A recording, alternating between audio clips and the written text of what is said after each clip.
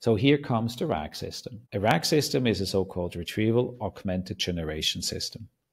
That is, in the first step, you take all of these data sets and you ingest that into what I term now a retrieval, a search system, a vectorized embedded search system, right?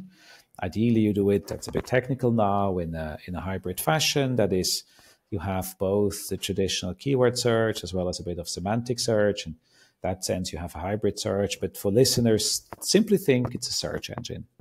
Mm-hmm.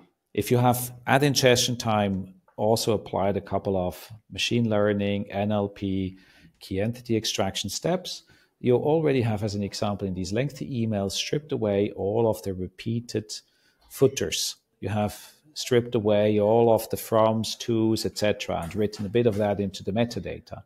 So you have boiled down the document to just what is relevant, the description of what went wrong. That you have indexed.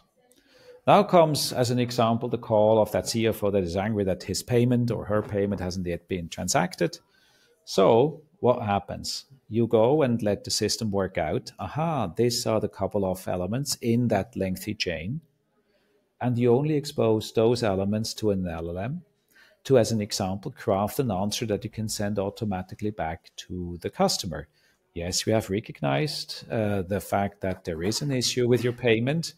Here are the possible next resolution steps that we're going to undertake for you and it's going to be resolved, say, tomorrow morning, 10 a.m., right? And you use an LLM more responsibly. You only use it for what it's really good at text recognition, text generation. And you leave to the retrieval stack what the retrieval stack is good for management of large arrays of data, including the enrichment of those data sets, the finding of those two, three snippets that really contain the relevant piece. Mm-hmm. And only those pieces are exposed to the RAG system. So prompt goes to the retrieval piece. Retrieval piece takes out those segments that are relevant, exposes it to the LLM. LLM constructs an answer. You go and check and verify that answer. And that is the answer that you provide then to an internal agent or maybe even directly to the customer. That, in very short, is how a retrieval augmented system works. And it helps to balance out cost and efficiency. It helps to balance out scale. It helps to balance out and find optimal ways to produce these tangible results.